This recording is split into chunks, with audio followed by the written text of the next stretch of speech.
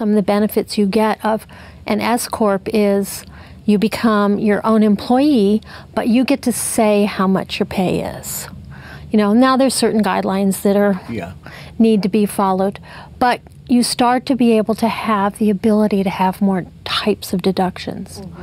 And they go through a small corporation a little easier, you know. Um, Than an individual. yes, yes. Now there are. What's the S in S corp? What does It that means mean? small. It stands for small. Small. Right. Yeah. not super. No, well, it's a super corp, yeah.